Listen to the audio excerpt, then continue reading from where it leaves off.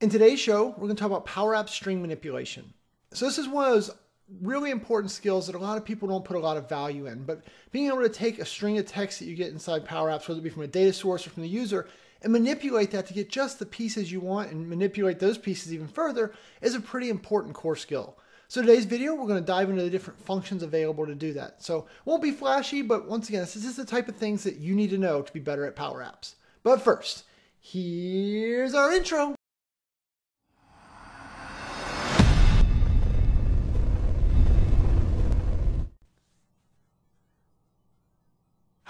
My name is Shane Young with Power Apps 911. Those guys. In today's show, we're going to talk about Power Apps string manipulation. So what we're going to do is we're going to take some text and we're just going to look at the different ways you can work with it. Because over the years of doing things like Power Apps and Flow, and even back to my PowerShell days, I always found that the ability to take input, whether that be from a user typing it in or from a data source, and being able to manipulate that text, pull out the pieces I want, change the pieces I want, were really core things. So what we're going to do is we're going to look at some functions that are such as left, right, mid, find, uh, length. We're going to look at uh, replace, substitute. So just some of these different functions that I want to make sure that you put into your bag of skills, right? You're going to look at this video and be like, eh, boring, who cares? But these are the type of things that you put in your toolbox and down the road when it comes up, you can just do it on the fly and you're like, oh my goodness, that made my life so much easier. So had it come, come up on a couple different customer calls this week, so I thought I'd just sit down, make this pretty quick video to walk you through it. All right, that's enough rambling. Let's just jump over and take a look at it. All right, so over here on my desktop, let's jump in and start messing with this, right? I got a blank tablet out. There's nothing fancy to show you ahead of time. We're just gonna kind of dig and play, and who knows what tangents I'll get off on because that's kind of what I do. All right, so the first thing I'm gonna do is I'm gonna stick a text input on here. It's text input three, which tells you that I have uh, messed up a couple of starts this video already. But so here we're going to paste in uh, just some simple text, right? My goodness, Chewy is fat and lazy. Please don't tell him, right? And Chewy is laying right there on my feet sleeping because it's Sunday afternoon. We're supposed to be watching football, but I want to make you a video first. So, my goodness, Chewy is fat and lazy. So there's a text, uh, uh, a string that we can kind of mess with. I put it in an input label here just to make it easier for me to change it as we were going. And so there's several different functions we want to look at. But let's start with a couple of the core ones first. And the first core one, I'm going to throw a label on the screen, pull it down here. And so this is called, or we're going to use the len function. So I'm going to type in len so you can see that's what we used. And so what the len function does is that gets the length of a particular text string. So this comes up a lot that we need to know the, uh, the length of a text string when we start doing some of the work we're going to do. So I wanted to show you that one first, right? Len text input three text. And so if we go over here and just say, you know, um, right, as I add, the length of this text input keeps changing, right? So len is 67. Okay.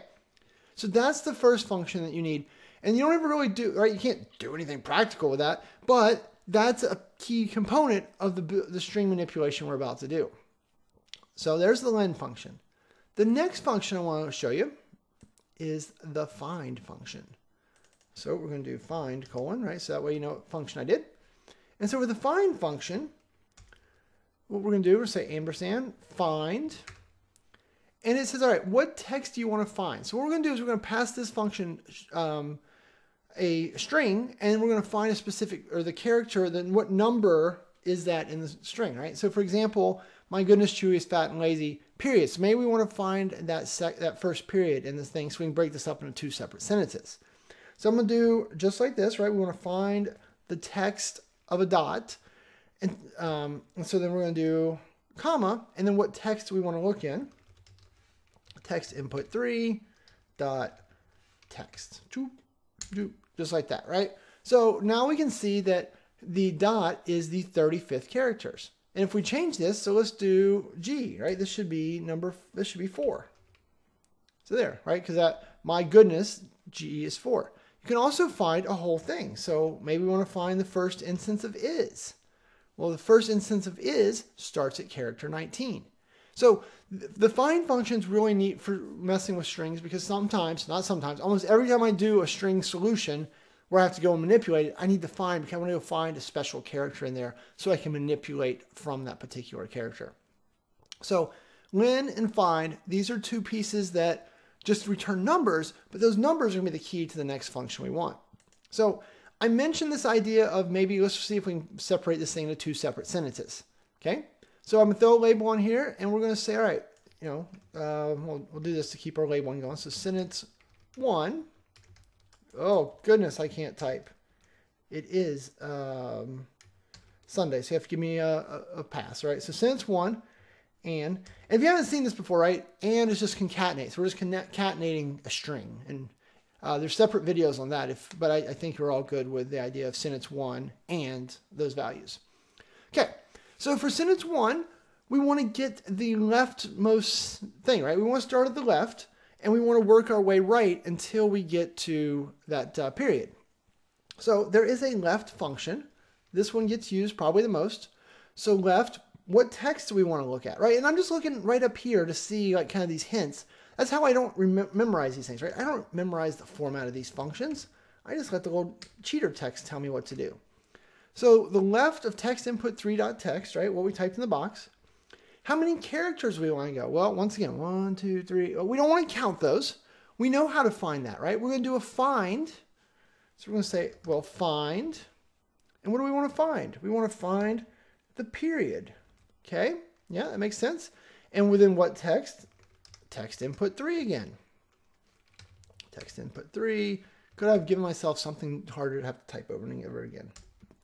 So find that, right? So we're going to take the left of that string and we're going to go to the number of spaces of that. Seems reasonable, so we'll close our thing. And look at that, just like that, sentence one. My goodness, Chewy is fat and lazy. Chewy, I hope your ears are closed.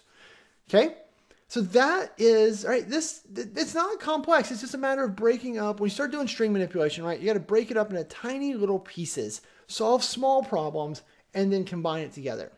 So that was how we got sentence one. All right, how do we get sentence two? It's a little bit harder. Well, not harder, just different. Okay, to be fair, maybe harder is the right word. Um, so I just had to restart the video here because I screwed this demo up so poorly that I felt like I needed to do it again. And what happened is because I ended up with a third sentence in here, I made this a lot trickier on myself, which is good because it, give, it gives me a chance to teach you about seven more new things, but there were seven things I weren't planning on teaching. Anyway, I told you we'd get lost in a tangent, so I went had a 20 minute tangent. I came back. Here I am. Okay, so to get the second sentence, what we're going to have to do is we're going to have to go in here and um, think about this a little bit differently because, right, we have three sentences. So, my goodness, Chewy is fat and lazy. Boom, we got that in there. Please don't tell him. We're good. But now we're going to have to get it, um, pull this middle sentence. And so to do that, we're going to use the um, mid function. So, right, so sentence two. And so the mid function has got an extra parameter, and this is where I'm not going to lie. When I do this, when I did this a minute ago in the demo, mess it up. And when I do it in PowerShell, it doesn't matter. Flow, all the places I always kind of have to fight my way through the mid function because I mean it, it's easy, it's straightforward, but sometimes my math, my puzzling together don't go as well as they should. Okay, so I already gave you the hints. We're going to use the mid function. And so the first question, well, what text? Well, we know that one. Yay. So we're going to say we want to use text input 3 dot text. All right, that was easy. And then it says, all right, well, where do you want to start? Oh, well, we want to start at the uh, the first period. Now, from the last sentence or last function, though, we know how to do that, right? So we could just go back up there and we could grab it, but we won't. We'll just type it in again. We're going to say we want to find the first period within text input 3 dot text. And so if we do that, it's like, oh, nope, nope, nope, you need more. All right, well, bummer. Um, or no, no, we don't. So we do that and like that. Okay, so then that would give us, because that just says start in the middle of this thing and give me the whole rest of the string, which is almost what we wanted, but not really, because in reality, we want to stop at the period again. Okay? So now that we've done this, so now we've gotten sentence two. So now we need to figure out where that second period is, right? We know the first period is at um, nine, right? Where's my text thing? All right, the first period, oh, that's where the is. Nope, nope, this. So then we know the first period is at 35. So how do we figure out where the second period is? So let's do let's step away from our sentence breakup and let's just go concentrate on that one problem first. This is where I messed up in the last demos. I should have done this to start. Okay, so go over here and we're going to say find second period, which is hilarious, which reminds me of high school, right? Second period, third period, all those things. Okay, so we're going to use our friend find again. We're going to find um, what? We're going to find a period just like this. And we're going to do it um, text input 3 dot text. Okay, so that's all the same. But now we're going to use this optional parameter. So find has an optional parameter called start number. So where do you want me to start looking for this period? Oh, okay. Well, I want you to start looking for that period. Mm, well, character 36 in this case, right? I want to start at one less or one more than the last uh, period. So we can't just type in 36. That, or I mean, I guess we could, right? it's kind of cheating. Uh, let's see if that comes back though. It did come back with 58, so cheating works.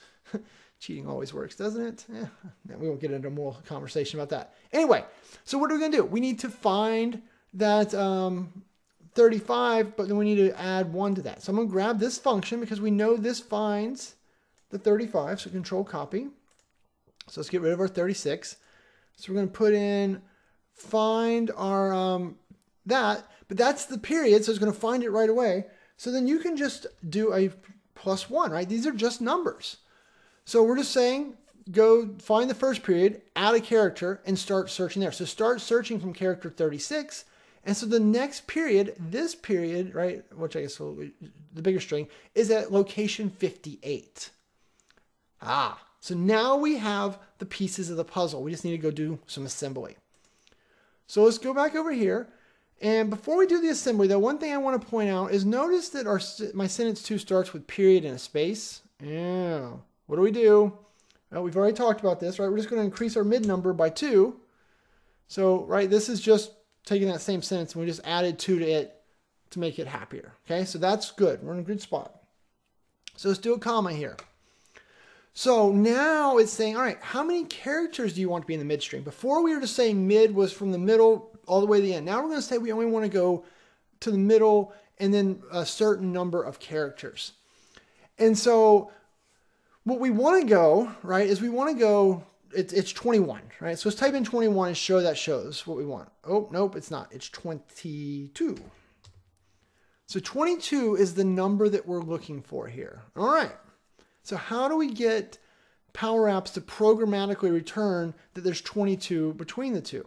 Well, we know that this find is um, the first period, and we know this is the second one, and they are 23 apart. Ah, I think you kind of get the idea here. Let's try. Let's grab this, right? So this is my 58. And we'll throw another label down here. So label. Okay. So this label. So if we do that, that gives me 58. But so what if we take that and then we say, all right, you, I want to subtract from you the location of the first one, right? So if we do this, boom, boom, we get 23. And we know from our testing that we actually need 22, right? Why? Because we need to bump up one from the period. So find doom, doom, doom, doom, doom, doom, doom, doom, add a one to that. Oh, but we don't want to add, we, we want to add a one, but the way that I'm going to do this, you know, you could subtract a one if you were really comfortable, but what I'm going to do is I'm going to put in parentheses this, right? So get the uh, second period, that's 58, right? That's what this whole first thing does. And then subtract the first period plus one. So that's the length of the string that we want to get. Now you're thinking, wait a minute, but we had to add two because of the space. You're right. But if we add two, um, then what happens is we only go out and we stop at 21, which doesn't get us that last period. So we need to do just one, which accounts for bumping out the extra space. So if we take this function now, control copy, and replace the 22 with that, we now have a programmatic way, right, of my goodness, Chewy is fat and lazy, boom, Please don't tell him. Boom. And we can go change this. Please don't tell him I said it. Right? And because it's all dynamic and we can get rid of my Chewy is, we'll make fat lowercase. My goodness, Chewy is fat, um, tired, and lazy. We'll make that lowercase. Right? But my strings are fine because everything is being computed dynamically. So as we manipulate these, right, and if we change this, please, please. That one doesn't do anything, we messed with it yet. But so this, right, mm, is how we did the first one. This is how we did the second one. So, and I realize the first time you do this, probably the first 10 times you do this, it's going to be hard. You're going to like scream and yell and be like, Shane's so stupid. This just doesn't work. It does. You just have to keep breaking it down into baby steps. So lots of labels on your screen to figure out what numbers equal what will go a long way to keeping you from cussing at me and hurting Chewy's poor little precious ears, okay? So every time I say his name, he kind of wiggles. He's like, shut up. Anyway, so let's look at the third sentence. And so the third sentence is, um, as you've probably guessed, we're going to use the right function. Now, I typically, I don't think I've ever actually used the right function in a customer's Power App. I think I've used it in PowerShell, but not in Power Apps. But we're going to teach it to you today just to be uh, complete. So right, all right, so what text do we want to go from? Well, text input 3.text has served us well so far. And then how many characters to the right do you want to go? So this is where it gets really complicated, right? Because now we're trying to figure out, well, we want to do it from that second period, but we don't really remember what the second period is. Um, so we have to do a lot of pieces here. So I think what we're going to do, oh, I don't want to do it, but we can we could go through and um, so we could count, right? So 6, 12, 14, I think 15 is probably about right. What does this do? Ah, that was close. Pretty good for a guess off the top of my head. Right, there you go. right, 16, 16 gets you the please. And so we're not going to go fight through the whole process of finding that because it's not typically something I do where I have to go and find, but because you can't do a find from the right. So we'd have to go do a find and we'd have to know that we had two periods in there. And so we're trying to find the third and this just doesn't come up. So what might come up for you though, and where I've done this type of stuff more likely is there's another way to do what we've been doing this far, right? So there's, there's that one. We're going to do it. Let's throw another label out here. All right. And so what we're going to do is we're going to do a, um, you, what are you going to do? We're going to do a replace. Okay. And so in a replace statement, right, replace what it's meant to do. So I was doing ampersand. So we do a replace. And so replace is going to force us to use all of our starting numbers again, right? So find these things and then, um, you know, work your way through. So actually, let's not do replace yet. Let's do, instead of replace, let's do find, because find is easier for your first look at this. Find and replace work exactly the same way. The difference is that find does it by uh, hunting for text. Replace does it by the number system that we did before. And I did not mean to do find, because we know what find does. We've done that one. I meant to do substitute. I don't know. You spell substitute something like that. Good news, PowerShell. Make sure I spell it right over here. There we go. So substitute, sorry, substitute and replace, not uh, do the same thing. The difference being is that substitute is going to do it with uh, text. So if you want to search out text and get rid of it. So if we take our text input uh, 3 dot text. All right, all right, what's the old text? Let's get rid of that fat. That was not very nice. Let me call Chewy fat. And we'll call him, instead we'll say he's big boned, right? So substitute, find the word fat and put in the word big bone. So if we grab this, it takes that whole string that we had before. My goodness, Chewy is big boned, tired and lazy. Please don't tell him, right? It took this whole thing up here and replaced it. And if we um, go up here, let's go, I'll just do it like this. Please don't tell him I said he was fat. You can see that it is replacing again, right? So my Chewy is big bone, or my goodness, Chewy's big bone, and uh, don't tell him I said he was big boned, okay? So uh, substitute's really good for that. All right, that's straightforward, right? Yeah, give it a string, tell it to go find it, and change it out. But sometimes in cases like where I need to do this thing where I want to get rid of the um, a bunch of stuff before, what I will do is I will, uh, because I know how to get this first sentence, right? Is I can go in here and I can say, all right, that's how you get the first sentence. I want to um, grab that. So let's see. So that would be a string. Yes. Okay. So I'm to grab that thing and I'm to say, all right, come down here and I want to do a substitute. So here's the text I'm looking for. My old text is the function for getting the first sentence. And what do I want to replace it with is I'll replace it with nothing. So look at that. So now I've used substitute to trim my string down. So sentence one, or right, it was all of this. And now we're just saying go find the first sentence, right? That, and this is just the code for our first sentence right here. Find our first sentence. Oh, sorry. This is our code for our first sentence. So, and that returns that string, right? We've, we've proven that array. Go get that first sentence's string and then just replace it in our string with nothing.